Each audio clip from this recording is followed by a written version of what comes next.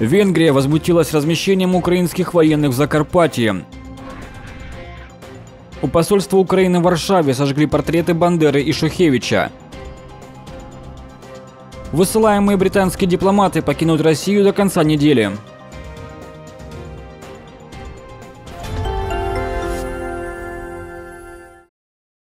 За прошедшие сутки вооруженные силы Украины один раз нарушили режим прекращения огня. Об этом сообщили в оперативном командовании ДНР. По данным ведомства, под обстрелы со стороны противника попало село в Тельмановском районе республики. Огонь велся из зенитных установок и стрелкового оружия. Информация о пострадавших и разрушениях уточняется.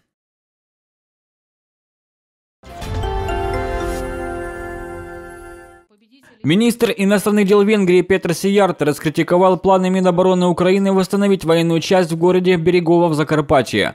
Речь идет о батальоне численностью около 800 человек. По словам дипломата, то, что Киев объясняет этот шаг необходимостью защиты территориальной целостности, вызывает беспокойство.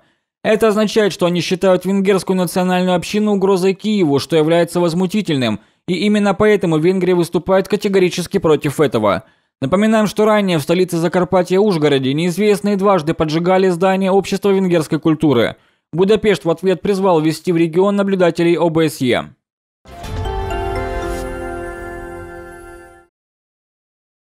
Польские националисты в понедельник вечером сожгли портреты Степана Бандеры и Романа Шухевича возле украинского посольства в Варшаве. В акции приняли участие представители национального движения, всепольской молодежи и национального радикального лагеря – Манифестанты скандировали лозунги «Шухевич убийца», «Бандеровские убийцы» и держали плакаты с надписями «Бандеровец не мой брат».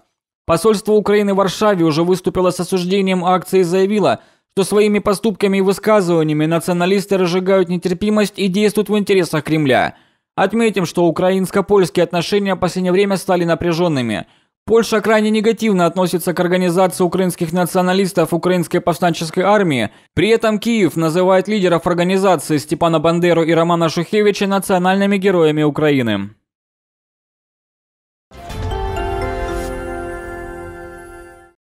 Посольстве Великобритании в Москве сообщили, что британские дипломаты, высылаемые из России в качестве ответной меры на аналогичный шаг Лондона, уедут на родину до конца недели.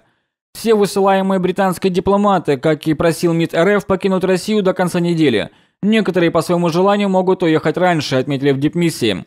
Напоминаем, что британские власти обвинили Россию в причастности к отравлению 4 марта в английском Солсбери экс-полковника ГРУ Сергея Скрипаля и его дочери Юлии, но каких-либо доказательств не представили. Премьер-министр Великобритании Тереза Мэй объявила о высылке 23 российских дипломатов и о приостановке двусторонних контактов на высоком уровне. Москва обвинение категорически отвергает. 17 марта в ответ на мир Лондона МИД России объявил персонами Номграда 23 британских дипломата, а также закрыл консульство Великобритании в Санкт-Петербурге и прекратил деятельность Британского совета в Российской Федерации. При этом российская сторона оставляет за собой право принять другие ответные меры, если будут предприняты дальнейшие действия недружественного характера. Спикер Верховной Рады Андрей Порубий в понедельник оговорился, назвав выборы президента России в Крыму так называемыми выборами президента Украины. И мы будем призывать парламенты других стран мира присоединиться к нашей позиции и занять такую же правовую позицию относительно так называемых выборов президента Украины.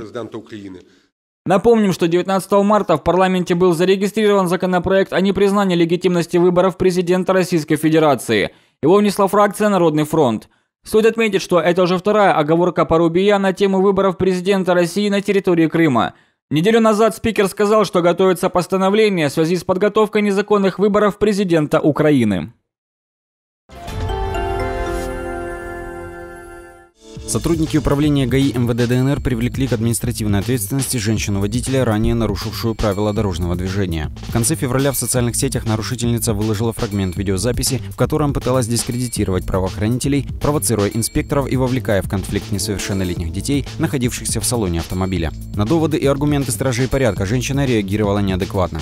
Посмотрите, в истерике, потому что меня задержали не, не обоснованно. Показали видео совершенно не, совершенно видео не, не, не объективное. Садись, сына, садись. Ничего страшного, мы сейчас поедем, мы сейчас поедем. Учитывая ситуацию и эмоциональное состояние малолетних пассажиров авто, доведенных женщиной до истерики, сотрудники полиции на основании статьи 38 административного кодекса приняли решение наложить взыскание позже в установленные законом сроки. Меня зовут э, Карахай Вадим Викторович из управления ГАИ. За нарушение 21.02, которое было совершено в вот, я уполномочен от управления ГАИ составить на вас административный протокол. При следующей встрече с инспекторами ГАИ женщина также вела себя вызывающе и безапелляционно ставила под сомнение компетенцию правоохранителей. Я двигалась со стороны со стороны Харциска. Покажите мне, пожалуйста, видео, где я двигалась. Вы действуете не в своих полномочиях. Да, Я действую Нет. законно. А где путевой лист, что вы должны сейчас стоять попытке хоть как-то дискредитировать инспектора, женщина не учла тот факт, что карточка маршрута патрулирования является служебным документом и содержит информацию, не подлежащую разглашению. Нарушительница категорически отказалась подписывать протокол и практически на протяжении всей беседы общалась с кем-то по мобильному телефону. Инспекторы ГАИ в соответствии с требованиями действующего законодательства составили документ в присутствии двух свидетелей. После выполнения всех процедур копия протокола была вручена нарушительнице. А Копию административного протокола водителю вручаю. Наталья Сергеевна, возвращаю вам свидетельство о регистрации. Вот, смотрите.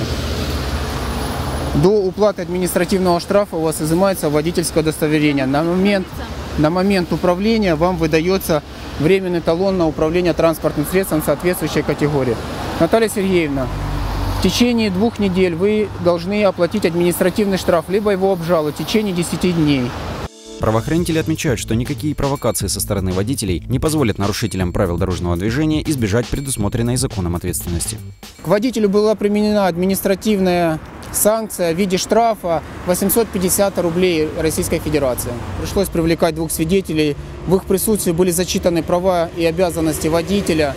Было объяснено о том, что водитель имеет право давать пояснения по данному административному нарушению, предоставлять ходатайство, пользоваться юридической помощью. Водительское удостоверение изымается до уплаты административного штрафа согласно действующего законодательства Донецкой Народной Республики. В случае возникновения каких-либо спорных или конфликтных ситуаций, граждане могут обращаться в дежурную часть управления ГАИ МВД ДНР по телефону 071 361 73 78. Данный номер размещен на патрульных автомобилях подразделений ГАИ Республики.